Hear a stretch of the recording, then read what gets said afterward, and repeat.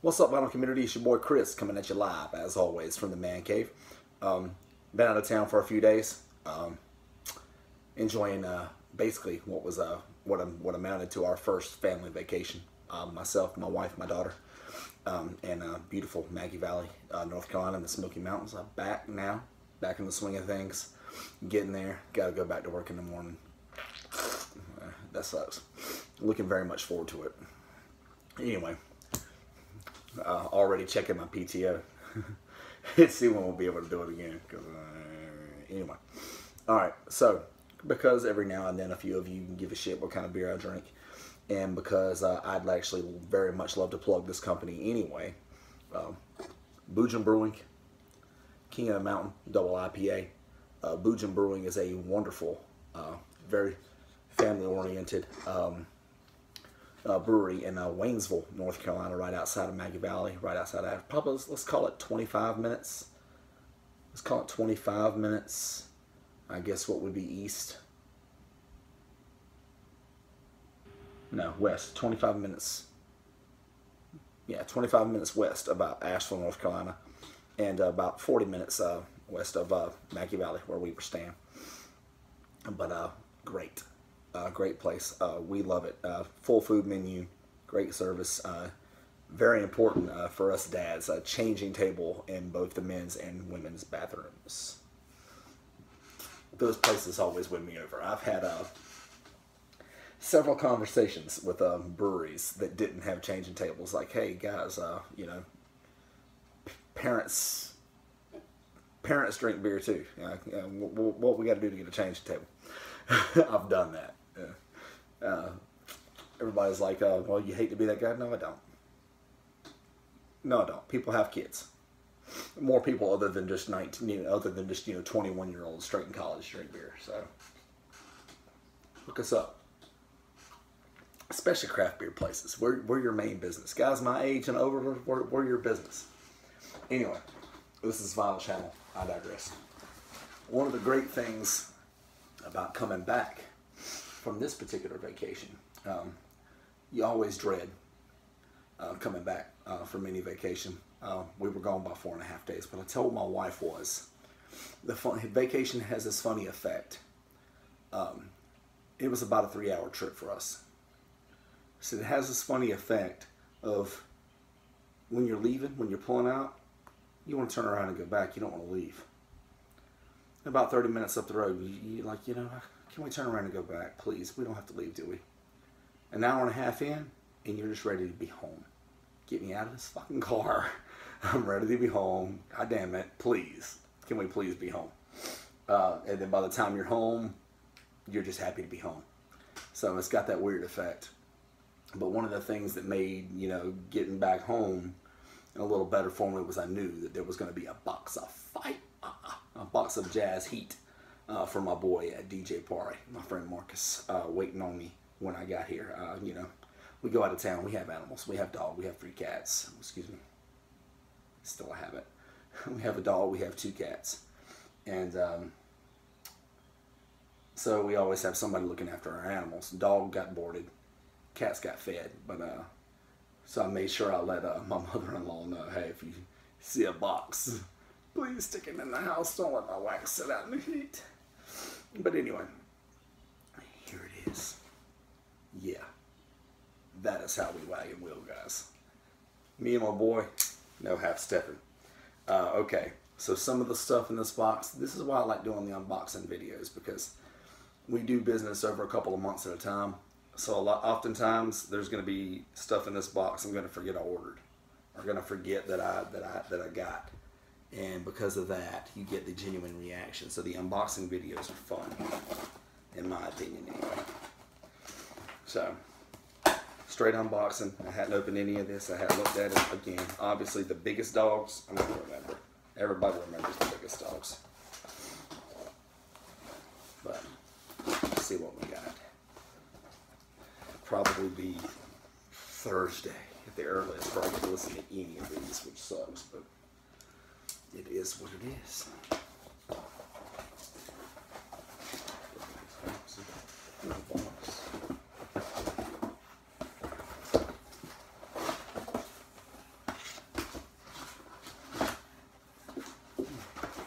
Thanks for the free medals, Marcus. My boy filling out the box. All right, here we go. Shirley Scott in the Soul Saxes, King Curtis, Hank Crawford, David Newman. It's a promo copy. It's on Atlantic. Uh, this is one of the ones that you can put down for me is forgot that I got. Tell you what, it's gonna be so much easier if I just pull these records out of this box. No doubt about it. More mailers. Awesome.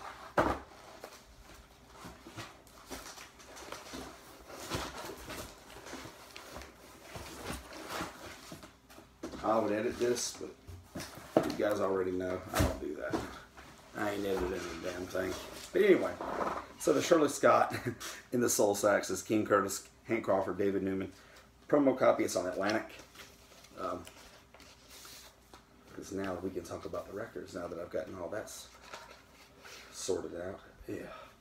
White label promos. Very sexy. Very cool. Uh, very happy to have that one.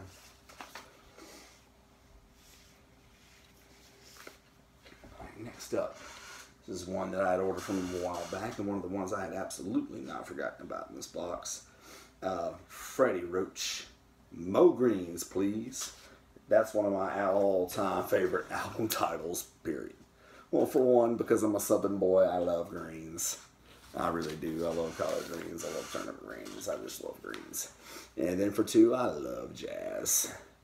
And I love Freddie Roach and his albums. And it's got Conrad Lester on the tenor, Kenny Burrell on the guitar, Eddie Wright on the guitar, Clarence Johnston on the drums, and it is a an original mono pressing. Of course, you guys know how I wagon wheel. Splat out, Blue Note label. Yeah. You know me, not wanting to show off. Um, anyway, great stuff. Very happy to have this album. I've been looking for it for a while, for a long while.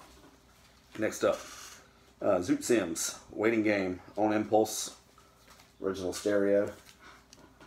This particular one, super clean. Crisp gatefold, you can tell. Hadn't been played very long, uh, very, uh, very many, uh, very often. Um, very similar, in my opinion, the gatefold to a Love Supreme. Very, very similar um, in terms of the uh, illustration and whatnot. Splat out, I gotta love that label. How can I open this? How can I open Impulse and not show the labels? It's not possible. It's not possible and it's not gonna happen.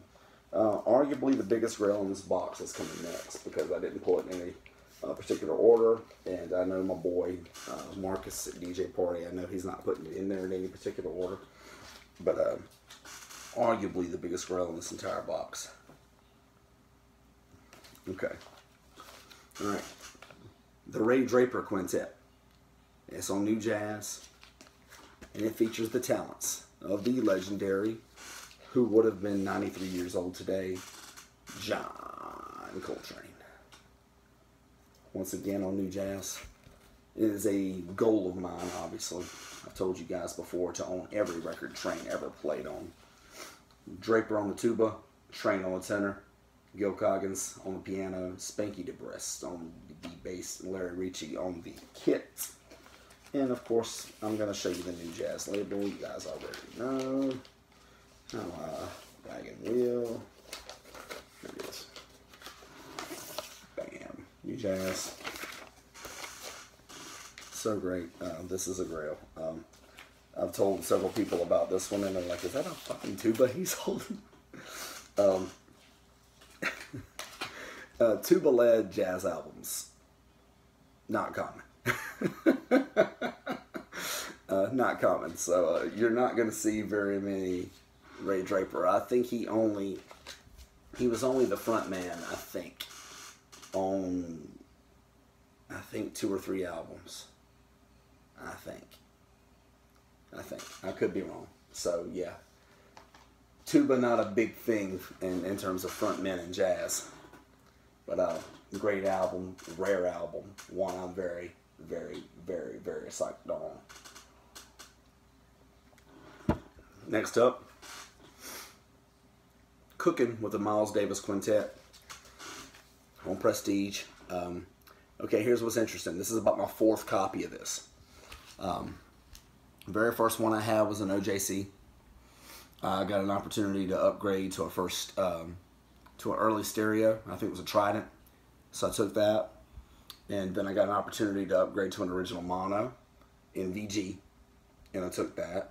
Even though, in my opinion, it played better than VG. And uh, then uh, my boy DJ Party uh, messages me the other day and says, "Hey, how would you like to upgrade that cooking from a VG to a VG Plus?" And this is one of my favorite jazz albums, so I couldn't resist. Straight up. So I sold my cooking for exactly what I paid for it, and got this one for just a little more. Couldn't be happier, and he's right. It's definitely a VG Plus. Bam. Splat out, prestige. So, uh, for those of you who follow all my videos, no doubt as soon as I pulled this one out, you guys were like, hey, I thought you already had that one. And I did. But as soon as I had an opportunity to get this one, sold the other one, and yeah, no doubt. Uh, good call, Marcus. VG Plus. Uh, always, always, always, always, always upgrade your favorite albums. If you get a chance to upgrade for condition, god damn it, do it. Just do it. Just do it. You can't there's you can't possibly have a good enough copy in terms of condition of your favorite albums. I mean, if it's just some album you don't really give a damn about and you got a good copy and you're happy with it, then leave it alone. But for your absolute favorites, every time you get a chance to get a better condition copy and you can swing it, do it. Next up was one that uh, uh, I got to admit, I got a good laugh about. Um, uh, so my boy uh, had messaged me and told me, he says, first off, before I send you the picture, ignore the cover. He goes, because the cover's silly. And he goes, I'm going to send you a sound sample. He goes, I still use this on my DJ sets. I'm like, okay. I didn't know what the hell he was going to send me in terms of the cover. But he sends it to me. And uh, it's uh, Spanish Rice, Clark Terry, and Chico O'Farrill. Uh, yeah. So Clark and Chico look like they're having a good old time. It's on Impulse. It's on Mono Press. And uh, I'll show you guys something even better about it in a minute. But listen to that crisp gatefold. Oh man, it sounded like it was just being opened for the very first time. So it's Chico, a Rage conductor. Clark Terry, Snooky Young, Joe Newman, Ernie Royal on trumpets and flugelhorns. Barry Galbraith, Everett Barksdale on guitars. George Duvivier on bass. Grady Tate on drums. Julio Cruz, Frank Mallet. Frank Malaby. I, am not sure how you pronounce that name. Bobby Rosengarten and Chano Pozo on Latin percussion. And this is from, this is recorded July 18th, 19th, and 20th of 1966. And what's very cool about this one, you guys ready? It is an Impulse white label promo. Bam. Splat out. My very first. Um, the Impulse white label promos are like a freaking unicorn. They are hard to find. You're going to have an extremely hard time finding these guys. Um, I saw uh, I saw a white label promo uh, mono, A Love Supreme, go for about fifteen hundred about two months ago.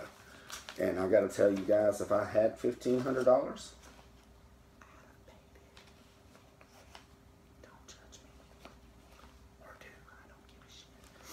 But I would have totally bought it. I'm just going to be completely real with you. But I don't have it, so it was a non-issue. But this is my very first Impulse white label promo. And the samples that he sent me from this album to sell it to me were funky as hell.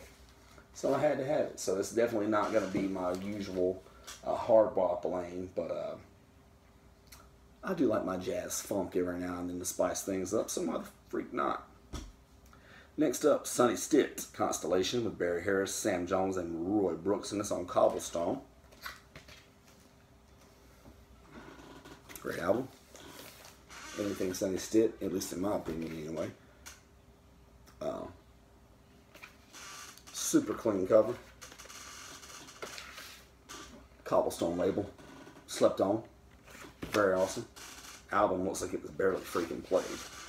So uh, thank you, previous owner, either A, for taking very good care of your records, or B, not playing this one very much because it's in my hands now and it looks good as hell.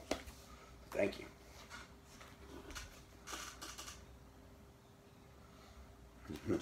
I'm getting into a couple now that I did not, that I do not remember buying, but it's okay.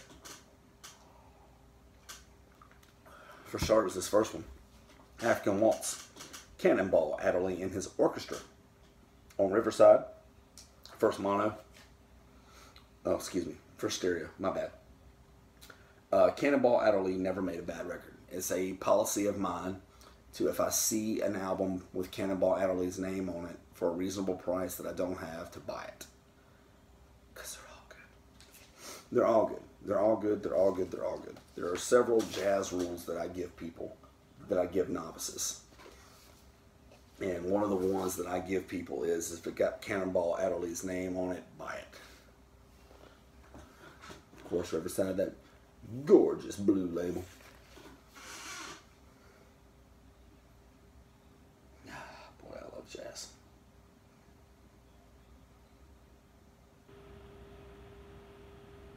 Every album I throw on, I feel like I've got so much to learn. A lot of people I know feel like I know so much and ask me so much and question me so much and email me so much and text me so much and DM me so much, but every day I feel like I learn so much about this genre. And it's something I've never felt about music ever in my life. And man, that's that's that's that's where the hook comes in. I gotta tell you, yes, uh, I really just I love this genre. I do. As if you know, all of you guys watching right now, like, yeah, Chris, we know we, you fucking love jazz. You show it every goddamn video. all right, uh, this one I absolutely forgot buying, uh, but I'm happy to have. Uh, really living the J.J. Uh, Johnson Sextet uh, with Nat Adderley, Bobby Jaspar, Cedar Walton, James. James Spanky DeBrest and Albert Heath. Great album. And it's best thing about this one, this particular this particular press, of course, as I, uh, I'm getting ready to show you guys, and you'll understand immediately is wow. Oh God, I love those six eye Columbia labels. Original mono, beautiful. Can't wait to throw one on it. It's super, super duper, super, super, super, super duper clean. Uh, next up, oh man, I'm getting ready to have some fun. Uh, New Wave. Dizzy Gillespie. Because that's another, that's kind of another rule. Dizzy Gillespie was on it, it's not bad. It's just, but here's another rule of mine that this is kind of counteracting with, and that rule is, is there shall be no shrink wrap on any album in the man cave. Oh man, this is gonna be fun. You guys ready? Oh, oh yeah. Oh yeah. Oh boy. Oh. Do it again, only slower. Bam. Now it looks like an album. Dizzy Gillespie on the trumpet, Leo Wright on the alto and flute, Lalo Schifrin on the piano, Chris White on the bass, Rudy Collins on the drums, Bola Sete on the guitar, Jose Paulo on guitar and tambourine, Carmen Costa on the cabasa, Charlie Ventura on tenor and bass saxophone. New Wave. Dizzy Gillespie. That's on Mercury Records. It's a very good album, guys. Of course, I mean, just the name Dizzy Gillespie should make you want to buy it. It's one of the, you know, this man put together one of the great, you know, jazz careers ever. Um, I was asking my boy Marcus uh, who he thought had the greatest career in the history of jazz, and no doubt that's a tough one, no doubt. And uh, I think he it was a tough one for him, but he goes, you know, probably Duke Ellington, and um, you know, because the longevity and you know so many great albums and so many like great collaboration albums and influenced so many great people and just yeah, and he, you know what that's hard to argue with. It really just is. In the, in the decade, in the uh, in the uh, excuse me, the uh, career lasted decades. It's just that's really hard. That's hard to argue with. And I know you guys are probably wanting to know how I went from Dizzy to, to Duke, but I'm just random thinking out loud now because I was thinking about how great of a career Dizzy had, and then it made reminded me of that conversation with my boy. And uh, but Dizzy's up there though. Had a great career. And speaking of Dizzy, Dizzy Gillespie, half trumpet, will excite on Verve. Now, this is a really great album. Sure, a lot of you guys, if you have any Dizzy at all, you probably have this one. Uh, personnel, Dizzy on the trumpet, obviously Junior Mance on the piano, Spann on the flute and guitar, Sam Jones on bass, Lex Humphries on the kit. Somebody was kind enough to leave their name and address on the back. I can't read the shit though, so thank God they can't write. hmm, I see that now. Okay. Gonna need some of those strips. Good thing I got that covered. The wax is super duper clean though on Verve. Verve label is also one of my favorites. So I'll fix that. But looking very much forward to the album. Uh, I really, really, really, really dig Dizzy. Next up, Miles Davis jazz track. Um, original mono on Columbia. I promise I'll show you as soon as I take a sip of my beer. Anyway, Miles Davis jazz track. Original mono. Pretty damn clean, honestly.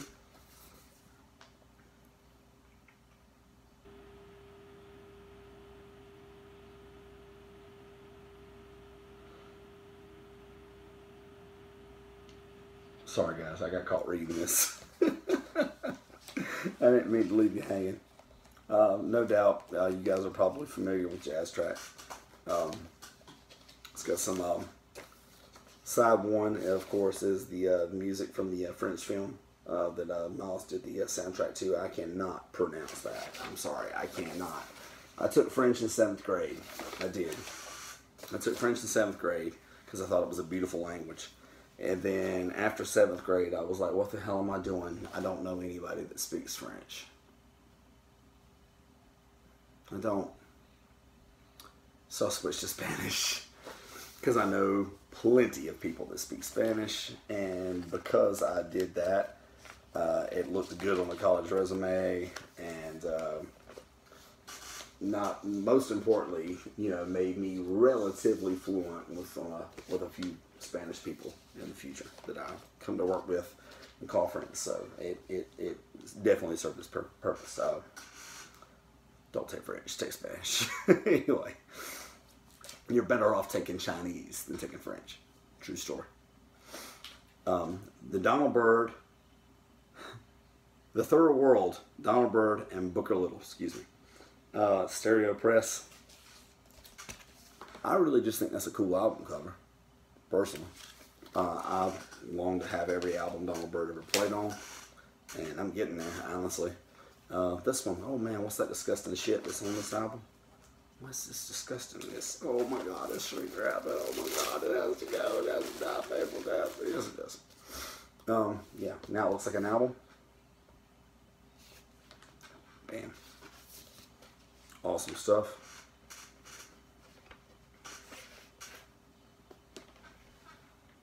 My first album on the uh, TCB label, Stereo Press. Super clean, doesn't look it was ever played. Uh, so, God bless him. Uh, features the talents of, of course, Donald Byrd, Booker Little, Curtis Fuller, Bill Evans, Paul Chambers, Mondo Peraza, Philly Joe Jones, and Willie Rodriguez. What a fucking lineup, man. So, uh, plenty of you watching this, no doubt, are not familiar with this album. So uh, all I got to say to you is, if you see it, jump on it, jump on jump on it. Sorry, didn't squeeze that in in the last video, so I had to make sure I hit you guys up this time.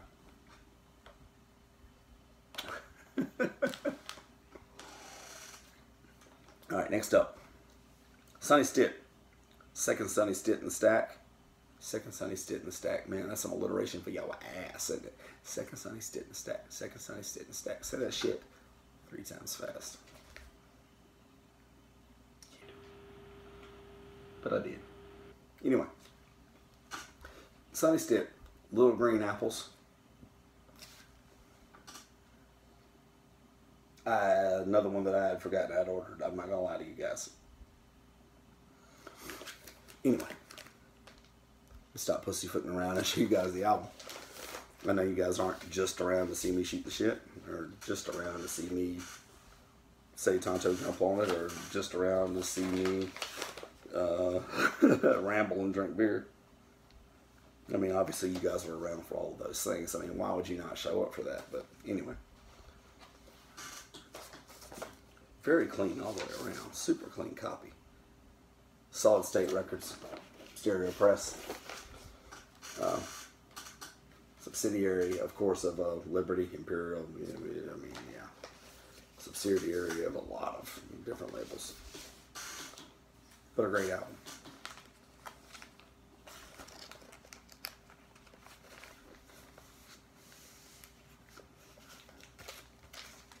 So much good jazz, guys. I've, I mean, I'm back to all this, all of this you see here, all of that, all of that, and several stacks I got over here, all jazz records I haven't had an opportunity to listen to. I'm a busy man. Anyway, next up, Straight Up by Harold Vick. Can I tell you guys a couple of things that's great about this? Number one, this is a great and underappreciated record. Number two, it comes with most shrink wrap, most shrink wrap, most shrink wrap for that ass. And I get the bam. There it goes. Bam. Yep. Get that ridiculous stuff off there. Why do you people leave it on there? Don't understand you. Everybody has a preference, but I don't get it. Personnel: Harold Vick, leader, tenor sax, soprano sax, and flute. Virgil Jones on the trumpet. Al Dailey on the kit. Oh, excuse me, Al Dailey. Al Dailey on the keys. Warren Chiasson on the uh, vibes. Everett Barksdale on the guitar. Walter Booker on the bass. And Hugh Walker on the drums. And it's on RCA Victor. Splat out. So, oh my god, super clean. Can't wait to get into it. I did indeed remember buying that one. Next up, uh, I've only got a couple more left in the stack. Yeah, a few more left in the stack. Next up, uh, anything this man has his name on, I want. Um, my boy DJ Party has been made aware of that, and uh, it's coming through quite nicely. West 42nd Street, Kenny Dorham. Stereo Press. All International. A long, long, long to own, to own everything. Kenny Dorham was on. Kenny Dorham on trumpet. Rocky Boyd on tenor. Walter Bishop on keys. Ron Carter on bass. Pete La Roca on the kit. Of course, I love Pete La Roca. Can't wait to spin this one. Jacket's a little flimsy. It's international. Um, wax is immaculate. Man, I can't wait to spend that. That's going to be great. Basically, everything on this stack, even the ones I forgot about, are all freaking heaters. Next up, Elmo Hope Trio with Jimmy Bond and Frank Butler. Another great thing about it is it comes with more shrinky shrink wrap and deuces. Deuces, deuces, deuces, deuces, deuces. Alright. Now it looks like a record. Contemporary stereo. So this is going to be a very first stereo pressing. Very similar uh, to my Leroy Vinnegar, uh, Leroy Walks that I got, uh, that I showed off in, I think, two videos ago. Very much, very much, very much, very much looking forward to it. This is my first Elmo Hope led record. Uh, Elmo Hope, of course, on the keys, Jimmy Bond on bass, Frank Butler on the kit. Very, very much looking forward to it. And to close this video out, uh, yeah, this is one I absolutely forgot about. Child of Gemini, the Roland Hanna Trio. Of course, I know who Roland Hanna is. I know all that. I know the album. But I forgot that I bought it. so, hey. Gatefold. Roland Hanna on the keys. Dave Holland on the bass. Daniel Humair on the drums. Uh, Great stuff. Highly recommended, obviously. And I'm almost a form person. I'm not sure whether or not it is or not. Great stuff. Stereo press. Very much looking forward to it. Obviously. So that completes uh, the package, the unboxing of uh, Fire that I got from my boy DJ Party, Marcus, my friend. And um, man, let's just say I think I've got one day off all week to listen to jazz. During that week, during that day, obviously I'm going to have several hours with errands. So I'll probably have the turntable to myself. Let's call it three or four good hours. So that's what about four of those. So no matter what, I'm always playing catch up to that. And not to mention, there's more. Just because I mean, just because that's all you guys ever see doesn't mean that's all I have. I got that. I got that. I got that. Yeah, that's what my best shit is, though. anyway, well, let's hope I can knock a few of them off. Um, Marcus, man, I hope you're right. I hope I live long enough to retire to get to enjoy all these. God damn, man, I hope you're right. I swear I hope you're right. Um, if you're right, uh, I'll, I'll, I'll, drive up to your place. I'll buy you the biggest bottle of bourbon, bro. It's on me. I hope you're right. Um, so, great vacation with my family. Very, very, very awesome to come home to a box of jazz. He uh, waiting in my living room for me. That was great. Uh, the only thing, you know, technically, you know, when I grabbed the box, I was still on vacation, so that ended the vacation well. I just wish I had time to listen to them. But uh, that time's probably not coming until Thursday. So, until next time, until next video, keep dropping that you guys.